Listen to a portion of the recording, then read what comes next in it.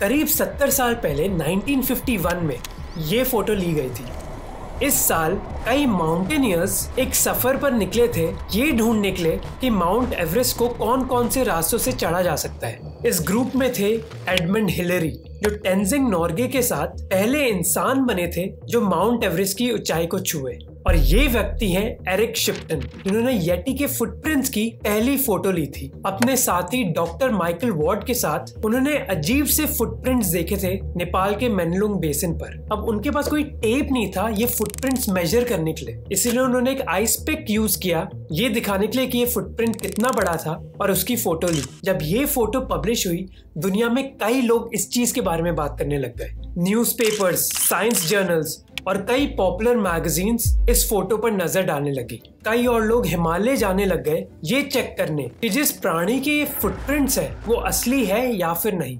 यहाँ तक कि नेपाली गवर्नमेंट लोगों को लाइसेंसेस देने लगी येटी का शिकार करने के लिए। यूएस सरकार ने तो एक नोटिस भी जारी किया, जहाँ उन्होंने बताया कि अगर आप येटी की खोज में निकले हैं तो आपको क्या क्या चीज़ों का ध्यान रखना चाहिए। कई लोग येटी की इस कहानी में इंटरेस्टेड थे, पर क्या येटी रियल है या फिर फेक इसकी हिस्ट्री क्या है? इसी के बारे में मैं आपको बताना चाहता हूँ इस वीडियो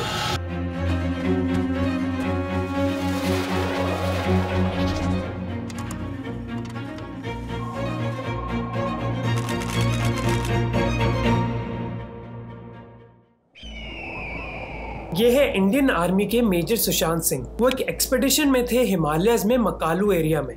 और उन्होंने कहा कि उन्होंने इतने बड़े फुटप्रिंट्स देखे जो किसी इंसान के हो ही नहीं सकते। जब सुशांत ने अपने शर्पा गाइड से पूछा इसके बारे में, उस गाइड ने कहा कि ये फुटप्रिंट्स है एक जंगली आदमी के जो बर्फीले एरियाज़ में रहता है। अब चाहे पूरी दुनिया में कई सालों से डिस्कशन हो रहा हो कि येटी रियल है या फिर नहीं, शर्पा लोग में इसके बारे में कोई कंफ्यूजन नहीं है। येटी एक अहम भाग रहा है उनके कल्चर में कई सदियों से। जो वर्ड येटी है, वो आया था टिबिटन शर्पा की भाषा से, जहाँ एक शब्द था ये तय जिसका मतलब है रॉक एनिमल येटी के बारे में रिटन रिकॉर्ड्स आपको मिल जाएँगे बारहवीं सेंचुरी तक, यानी करीब 850 साल पहले। एक टिबिटन रिलीजियस टेक्स्ट जिसका नाम है मनी कबुम। उसके हिसाब से टिबिट एक बहुत बड़ा लेक होता था, और जब ये लेक खत्म होने लगा, तब नए जंगल, जानवर और पहाड़ उभर आए, और इन्हीं में से एक पहाड़ों में टिबिटन लोगों का जन्म हुआ। इस पहाड़ में रहती थी सिन्मो एक ऐसी प्राणी जो एक अवतार थी बुद्धिस्ट देवी द्रोलमा की। ये प्राणी एक बंदर से मिली, जो एक अवतार था बुद्धिस्ट देवता चंद्रजिक का। इन दोनों ने छह बच्चे पैदा करे, जो इंसान भी थे और बंदर भी। ये माना जाता है कि इन छह बच्चों के पूरी शरीर में बाल भी थे और पूछ भी थी। फिर इन छह बच्चों से छह डिफरेंट टिबिटन ग्रुप्स बने।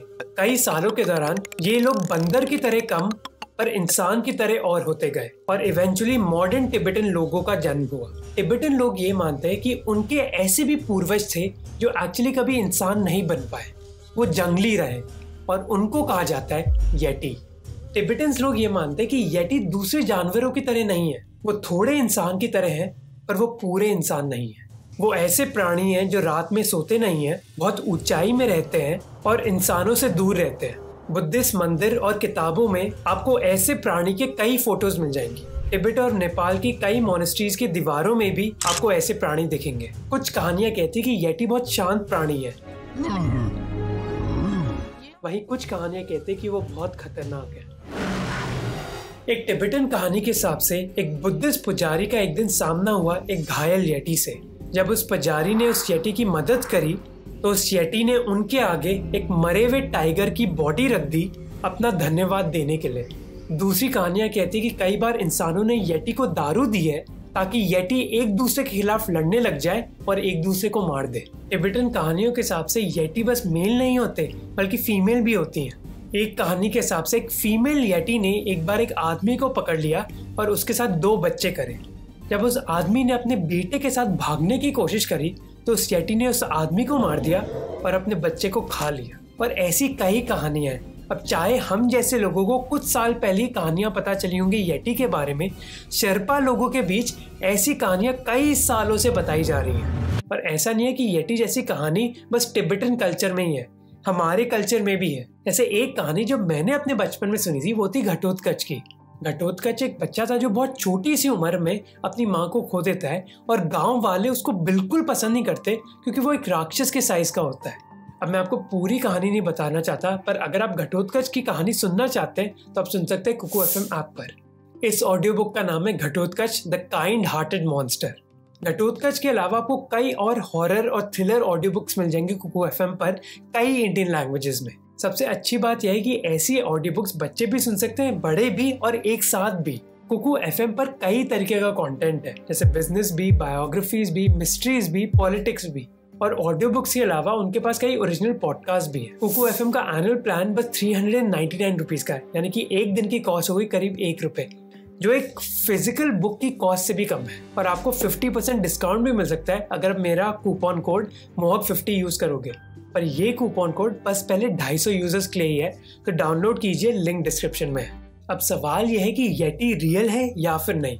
इस चीज़ के बारे में कई एविडेंस पेश करे गए हैं। जैसे 1951 की ये फ़ोटो पर इस फोटोग्राफ के 30 साल पहले भी एक एक्सपेडिशन हुई थी, जब चार्ल्स हार्वर्ड बरी ने बर्फ़ में ऐसे फुटप्रिंट्स नोटिस किए जिनको पता नहीं थे कि कहाँ से आए।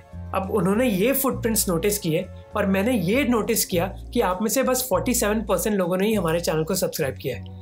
तो अगर आपको ये कंटेंट पसंद आ रहा है तो सब्सक्राइब ज़रूर कीजिए ताकि आपको ऐसे ही कंटेंट मिले। क्योंकि येटी की मिस्ट्री की वजह से कई कहानियाँ क्रिएट हुई हैं और इसके अलावा कई किताबें भी वीडियो गेम्स भी और मूवीज़ भी।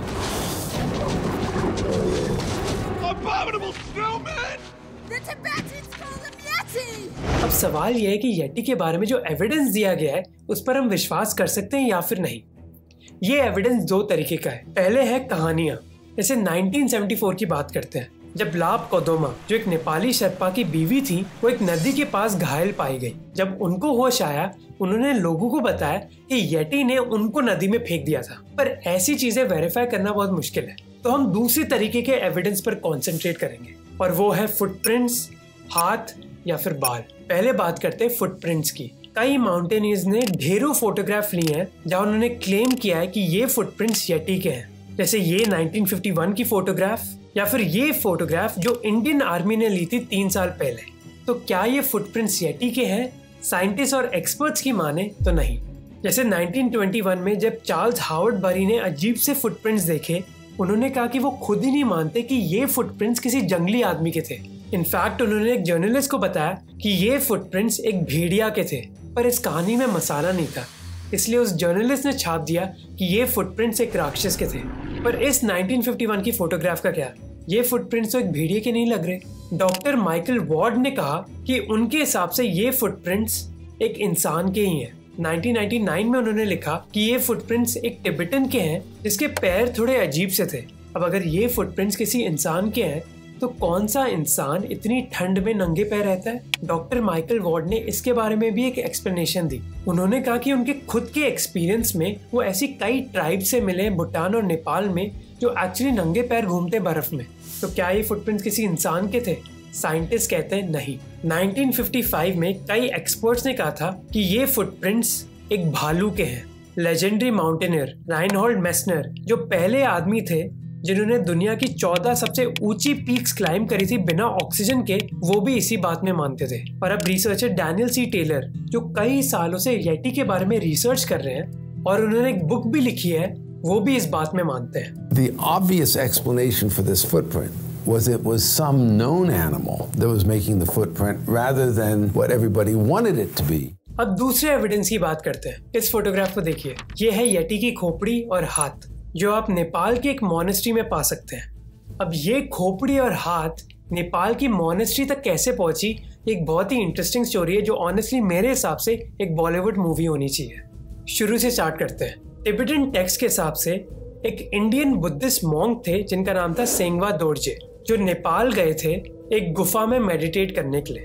उन्होंने कहा कि एक बहुत शांत येटी था जो उनके लिए खाना, पानी और तेल लेकर आता था। जब इस येटी की मौत हो गई तो संगवा दोरजे ने उस येटी की खोपड़ी भी रख ली और हाथ भी, और इन चीज़ को डाल दिया पांगबोचे गोम्पा में, एक मोनेस्ट्री जो उन्होंने बनाई 1667 में। फिर 1957 में एक अमेरिकन आदमी आए येटी के बारे में रिसर्च करने। उनका नाम था टॉम स्लिक, पर वो येटी को ढूंढ नहीं पाए। क्योंकि वो घायल हो गए, उन्होंने दो भाइयों को कहा येटी की सर्च करने के लिए। ये थे पीटर और ब्रायन। अपनी तलाश के दौरान पीटर ने पाया कि पांग बोचे मोनेस्ट्री में येटी का हाथ भी है और खोपड़ी भी। अब ये सुनिए, पीटर ने येटी की हाथ की एक उंगली स्मगल कर ली। एक हॉलीवुड सुपरस्टार, जेम्स स्टुअर्ट के साथ, जो उस समय कैलकटा आए थे अपनी बीवी ग्लोरिया के साथ। जेम्स स्टुअर्ट ने अपनी बीवी को कहा कि वो येटी की उंगली अपने अंडर में रख ले ताकि इंडियन कस्टम ऑफिशियल्स को कुछ पता ना चले। और इसी तरह ये येटी की उंगली लंदन तक पहुँची। लंदन में एक साइंटिस्ट ओसमन हिल को ज़िम्मेदारी दी गई ये देखने के लिए कि क्या ये उंगली येटी की है या फिर नहीं। ओसमन हिल ने कंक्लूड किया कि ये उंगली किसी राक्षस की नहीं है, बल्कि उल्टा इंसान की है। और फिर वो उंगली गायब हो गई। उंगली गायब हुई थी 1991 में और 20 साल बाद बीबीसी के डॉक्यूमेंट्री क्रू को इस उंगली के बारे में पता चल गया। उनको ये उंगली मिली लंदन के Royal College of Surgeon Hunterian Museum में। इस डॉक्यूमेंट्री क्रू को परमिशन भी मिल गई इस उंगली पर डीएनए टेस्ट करने की। डॉक्टर रॉब जोन्स, जो एक सीनियर साइंटिस्ट थे जूलॉजिकल सोसाइटी ऑफ़ स्कॉटलैंड के, उन्होंने कहा कि वो उंगली इंसान की ही थी। तब उंगली तो इंसान की थी, खोपड़ी का क्या? 1960 में एडमंड हिलरी, जिन्होंने माउंट एवरेस्ट क्लाइम किया था, उन्होंने कहा कि वो कुछ साइंटिस्ट के साथ ये जानने की कोशिश करेंगे कि वो खोपड़ी किसकी है। और उन साइंटिस्ट को पता चला कि वो खोपड़ी भी किसी राक्षस की नहीं थी। वो खोपड़ी थी सैरो की, एक ऐसा जानवर जो हिमालयस में पाया जाता है और एक बकरी की तरह होता है। तो फुटप्रिंट थे भालू के, हाथ था आदमी का और खोपड़ी थी सैरो की। अब आते हैं लास्ट एविडेंस पर।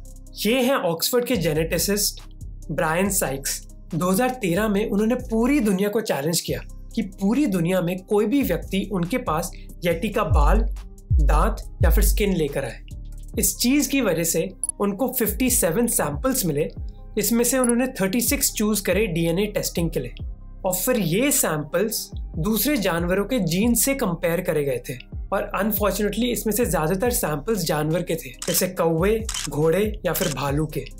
पर इनमें से दो सैंपल्स बहुत इंटरेस्टिंग थे। ये सैंपल थे लद्दाख से और भूटान से। और ये सैंपल्स मैच हुए थे एक ऐसे पोलर बेयर से जो करीब साढ़े छह लाख साल पहले इस धरती पर था। जिसकी वजह से ब्रायन साइक्स ने कहा कि येटी एक्चुअली पोलर बेयर और ब्राउन बेयर का हाइब्रिड है। पर जब दूसरे साइंटिस्ट ने सेम डेटा एनालाइज किया जो दो वो मिस्टीरियस सैंपल थे लद्दाख और भूटान से, वो एक्चुअली सैंपल थे एक ब्राउन बेयर के सब सैंपल से। 2017 में भी एक और साइंटिस्ट की टीम ने येटी के बॉडी पार्ट्स एनालाइज करे, जैसे हड्डी, दांत स्किन या फिर बाल। ये सैंपल्स उन्होंने हिमालय और तिब्बत की गुफाओं से लिए मोनेस्ट्रीज से लिए। उन्होंने नौ सैंपल्स कलेक्ट करे और उन्होंने देखा कि नौ सैंपल्स में से आठ सैंपल्स थे Asian black bear Himalayan brown bear या फिर टिबेटन ब्राउन बेयर के, और नाइन्थ सैंपल था एक कुत्ते का। ये सब सुन के अब आपके मन में एक सवाल आएगा कि अगर इतना एविडेंस पेश कर दिया गया है येटी के खिलाफ तो आज भी येटी के बारे में इतनी बातें क्यों हो रही है? क्यों इतने वीडियोस बन रहे हैं जिनको लाखों व्यूज़ मिल रहे हैं? शिवा धक्कल, जिन्होंने इस विषय पर एक बुक लिखी है, वो कहते कि येटी की कहानियाँ शायद पॉपुलर हुई थी, क्योंकि माता पिता अपने बच्चों को एक सबक सिखाना चाहते थे। कि बच्चे ज़्यादा दूर ना जाएँ और अपने परिवार के पास ही रहे। दूसरे लोग कहते हैं कि ऐसी चीज़ें कहानियाँ हैं जो हमें एक सीख देती हैं। ये सीख की नॉलेज आप बस डिग्री से गेन नहीं कर सकते, बल्कि नॉलेज आप गेन करते हो अगर आप क्यूरियस हो और ब्रेव हो। डैनियल सी टेलर कहते हैं कि लोग येटी में विश्वास करते हैं क्योंकि वो एक उदाहरण है कि हम इंसान भी अपने नेचर से कनेक्टेड हैं। इसीलिए हम ऐसे एविडेंस में विश्वास करना चाहते हैं। इसके बावजूद की एविडेंस सपोर्ट नहीं करता कि येटी एग्जिस्ट करता है या करती है, मुझे नहीं पता जेंडर क्या है। अब मैंने ये वीडियो तो बना दिया, पर मुझे पता है कि येटी ऐसी कहानियाँ हमारे समाज में खत्म नहीं होंगी, और इसके दो कारण है। पहला है कि आप कभी भी ये प्रूव नहीं कर सकते कि येटी एग्जिस्ट नहीं करता, क्योंकि इंग्लिश में एक लाइन है absence of evidence is not evidence of absence क्योंकि अगर एक चीज़ के बारे में आपके पास प्रूफ नहीं है, उसका मतलब ये भी नहीं है कि वो चीज़ एग्जिस्ट नहीं करती। ये आर्ग्यूमेंट एलियंस के बारे में भी दिया जा सकता है। पर हम कभी ये प्रूव नहीं कर पाएँगे कि एलियन इस दुनिया में है ही नहीं। ये येटी के बारे में भी, सच है एलियंस के बारे में भी, उड़ते हुए हाथी के बारे में भी, और पाँच खोपड़ी के बंदर के बारे में भी। ये पहला कारण है। और दूसरा कारण है, हम सबको मिस्टीरियस कहानियाँ पसंद है। कहानियाँ हज़ारों साल से बताई जा रही हैं और हज़ारों साल बाद भी बताई जाएगी। और हम में से कौन ही होगा जिसको येटी की कहानी इतनी पसंद नहीं आएगी। तो होपफुली आपको ये वीडियो अच्छा लगा। अगर अच्छा लगा प्लीज़ सब्सक्राइब कीजिए। अगर आपको ये वीडियो अच्छा लगा येटी की मिस्ट्री के बारे में तो आपको ये वीडियो भी अच्छा लगेगा इंडियंस की मिस्ट्री के बारे में भी, कि इंडियंस एक्चुअली है कौन? तो इस वीडियो को ज़रूर देखिए।